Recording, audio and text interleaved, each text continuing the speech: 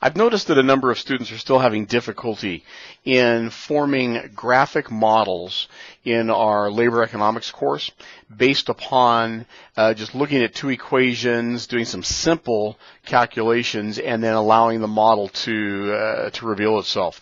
I've seen students continuing to put together a fairly complex uh, set of uh, values, a table of values, and then using that table to plot point by point the different curves.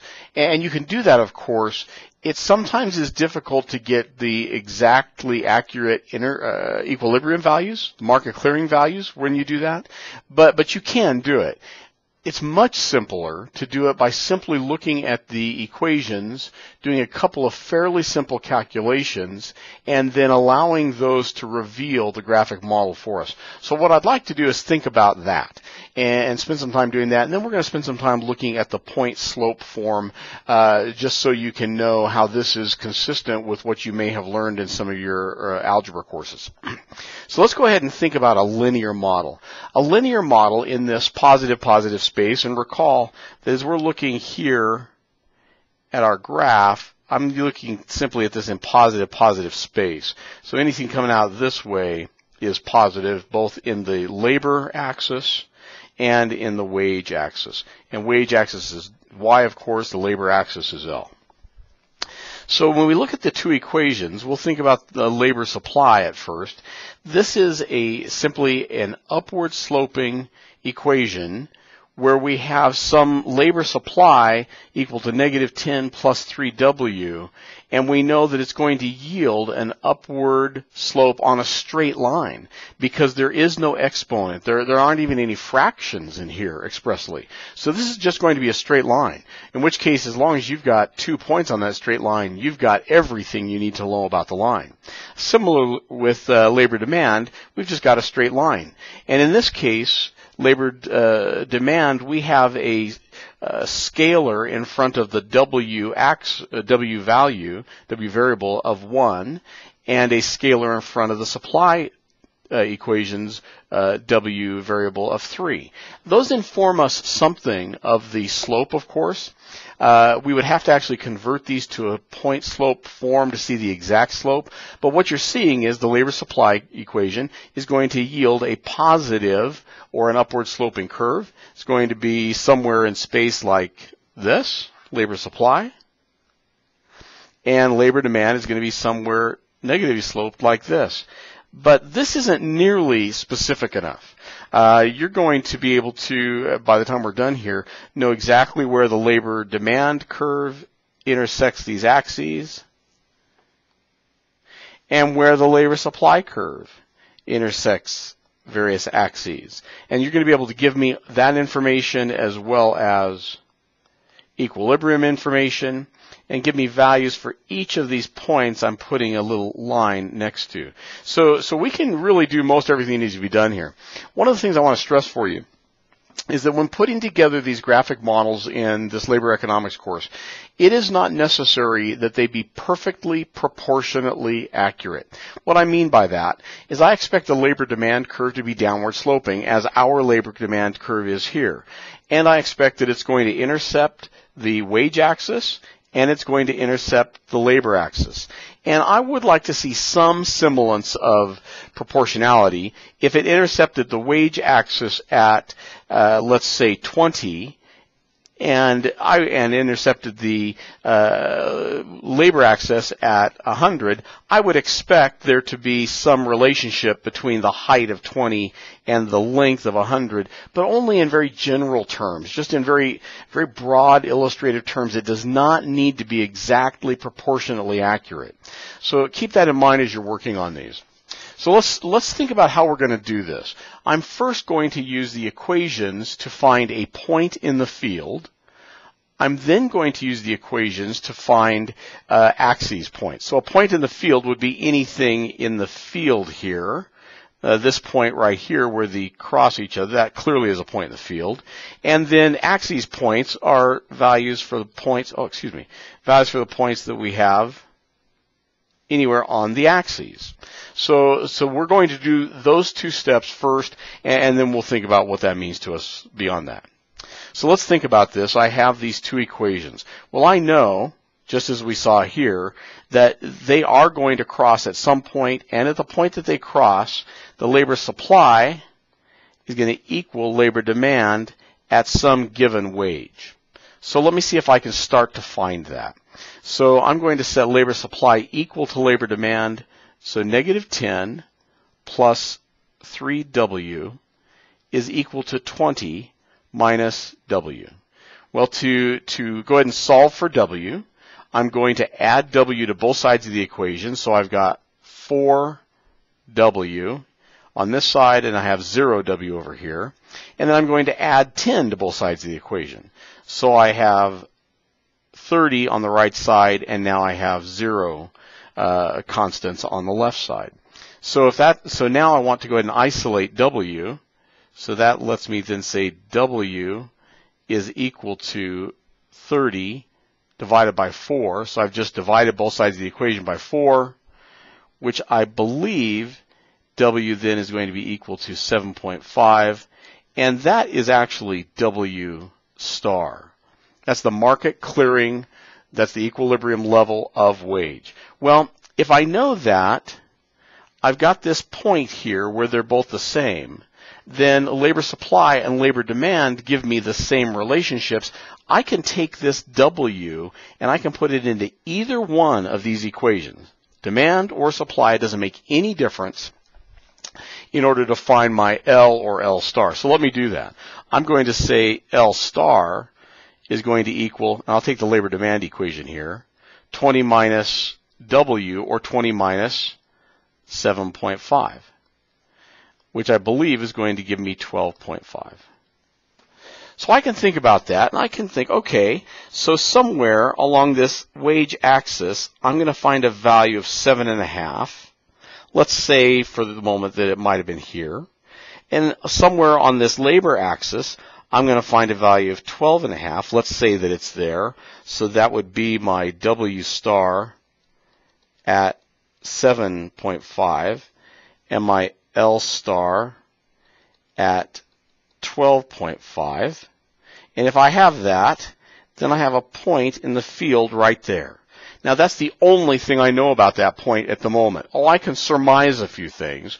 I mean, I know labor demand goes through that. I know labor supply goes through that point, but I don't know yet where they're starting from. I don't, and they, they don't stop, by the way.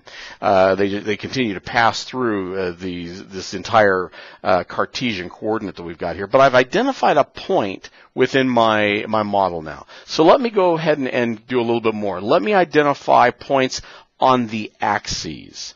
Well, to do that, I'm going to use those exact same equations. And we'll start with labor demand because it's, it's the easier of them.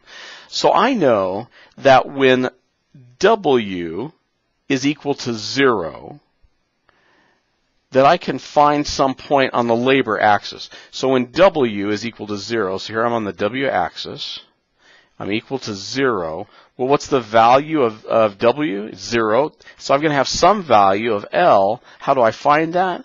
I can say, okay, labor demand when W,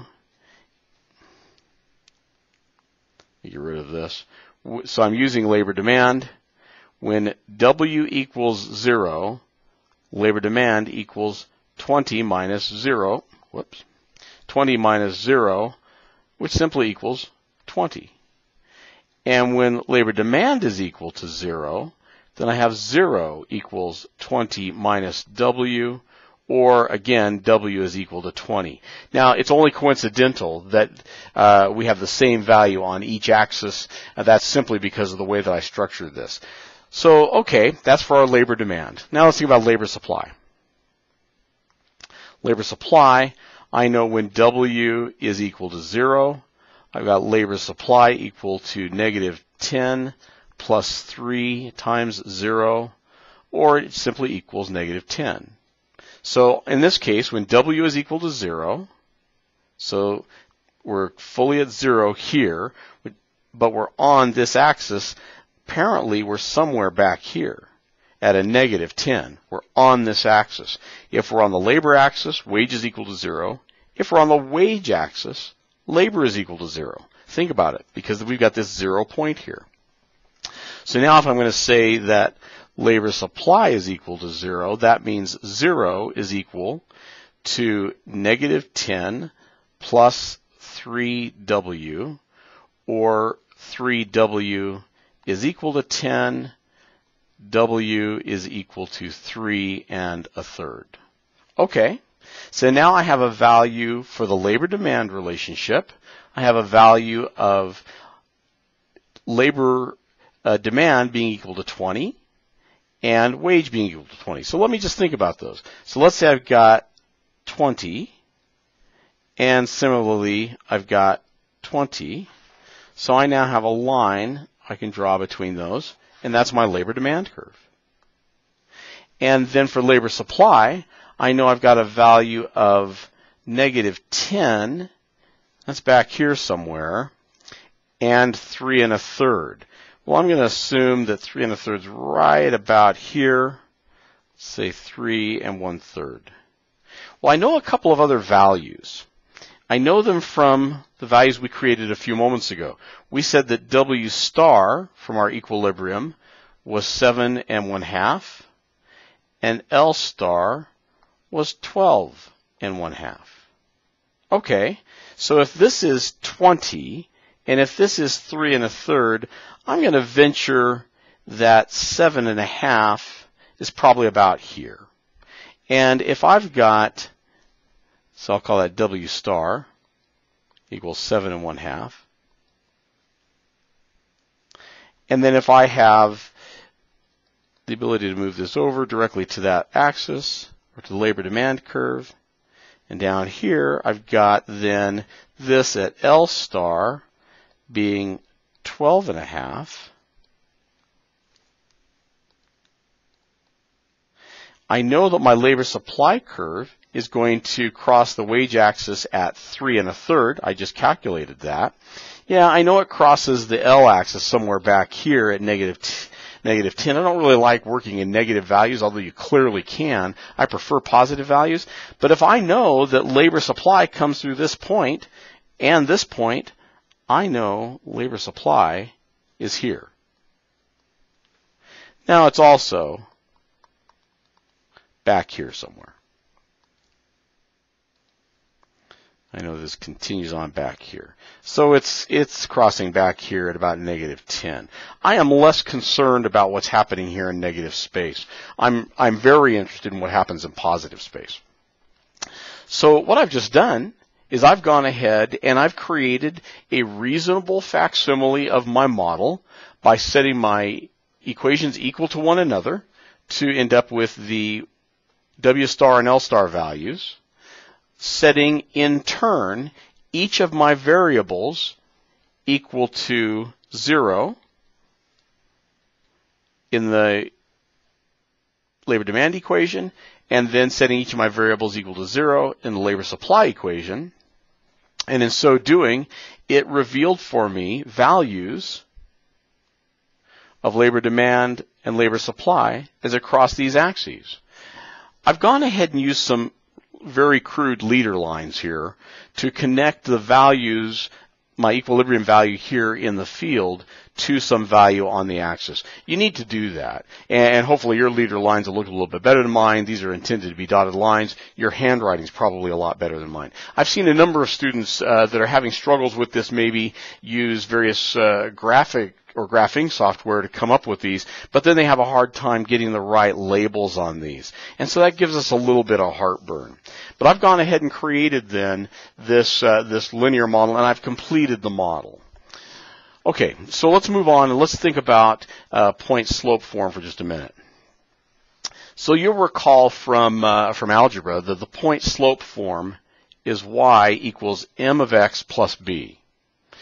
Well, we're starting then from the standpoint of y rather than the equations that we use for labor supply and demand. If you look at it, they stand they start from the standpoint of x because L whether it's labor supply or labor demand, is on the x-axis.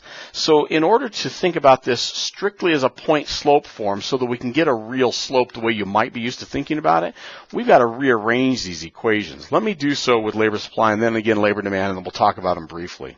So if I want to rearrange the labor supply equation and normalize it on the W or Y axis value, I'm going to solve for W.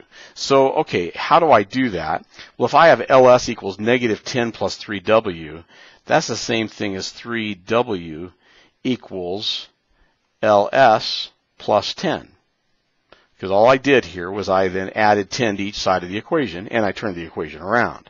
Now I want to divide the equation by 3 so I can isolate W.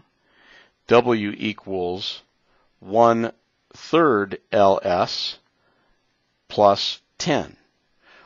Well, this looks like y equals m of x plus b, b being some constant, m being a slope variable in front of the x uh, value. So how do I think about this?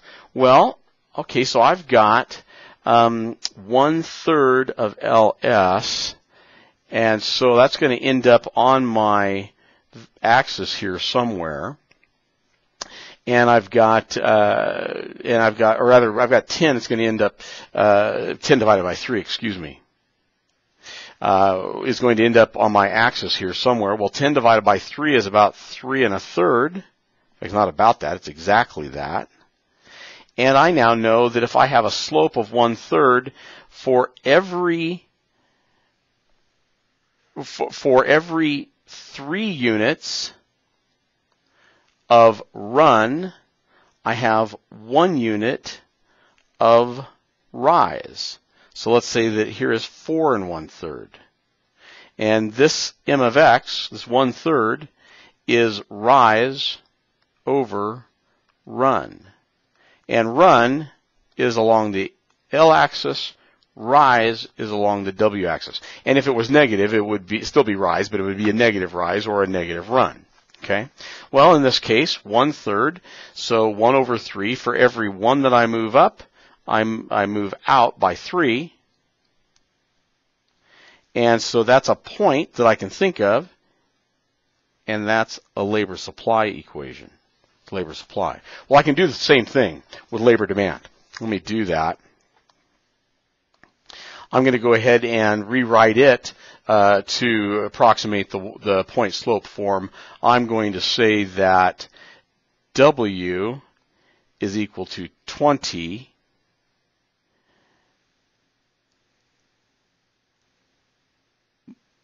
plus LD or equal to LD plus 20. Well, what is the scalar in front of labor demand? It's 1. So that means that W equals 1 labor plus 20. So what's the slope? The slope's going to be uh, 1, but it, it, really, it needs to be negative. Excuse me. I should have uh, made that a negative. I apologize. So I went ahead and moved um, W over to this side. I moved LD over to this side.